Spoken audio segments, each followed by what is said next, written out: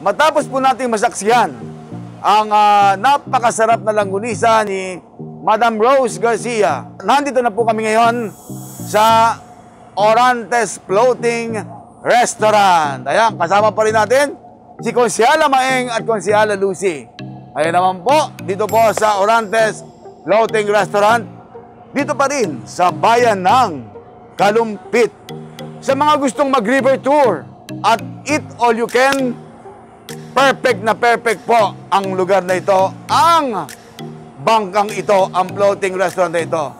Yes, at sa kahabaan po ng Kalumpit River ay madadaanan din po natin dito ang Bagbag Bridge. Ayan po. Kasi Gob, dyan po tayo sa Bagbag Bridge ay ah, makikita po natin dito ang ah, kasaysayan kung saan naglaban ang ah, ating mga general, di ba? Sa pagitan po yan ni General Luna at ni, ni General Arthur, MacArthur.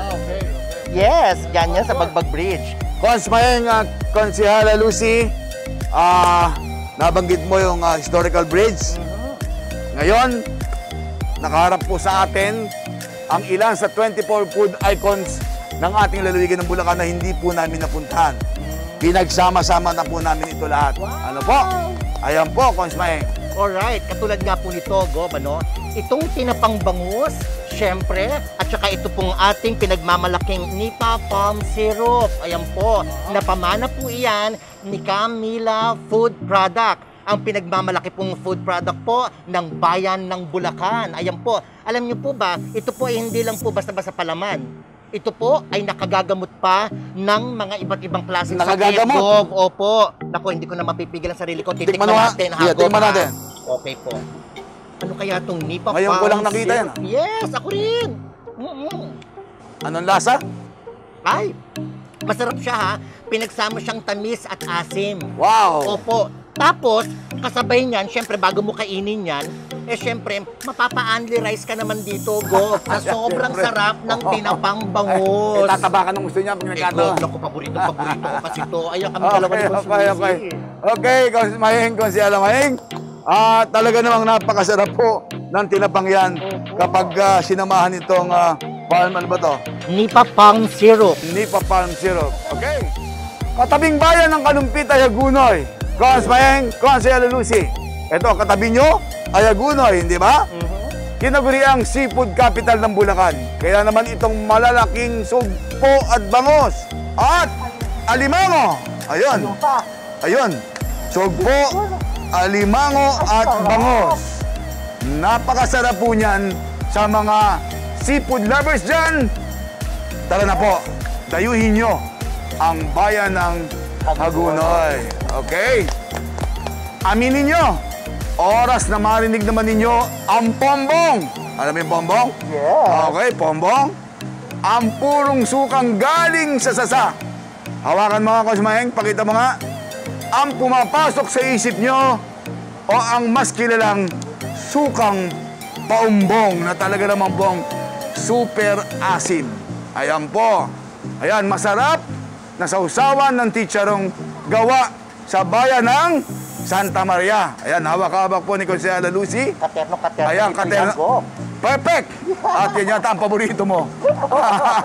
Ayan po, combination ng sukang pombong at malutong na chicharon ng Santa Maria. Ayan, sukang pombong and chicharon. Ayan po.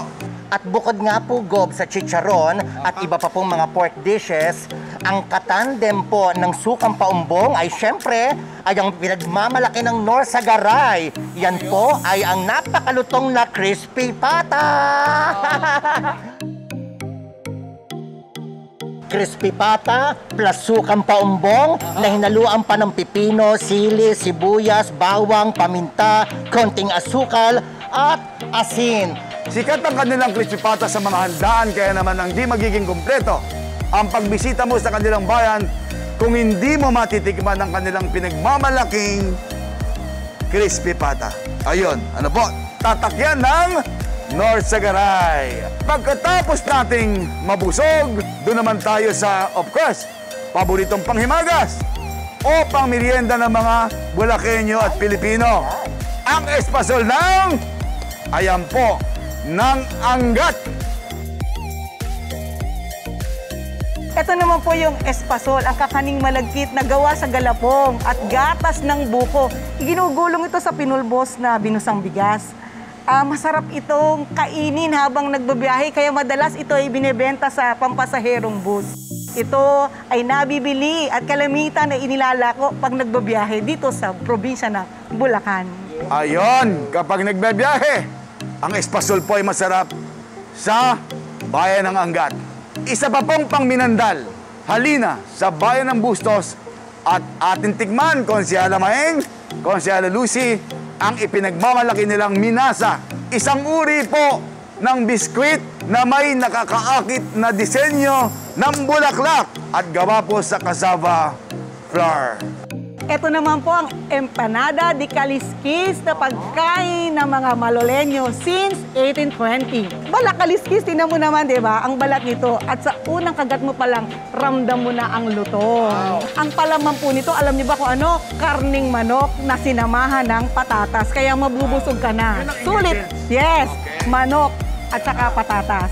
isa sa binabalik-balikan lugar sa bayan ng Marilao.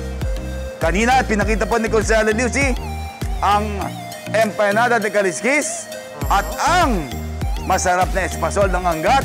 Ngayon naman po ay ang sagradong pok dasalan ang pambansang dambana ng nakilang awa ng Diyos o National Shrine of Divine Mercy. Ngunit matapos tayong magsimba, maaari kayong bumili, ano po, ng kanilang timeless kakanin. Ito ang puto popular. Ayan, pakita mo sa Lucy. Wow! Since 1949 at bibingka ng Rosalis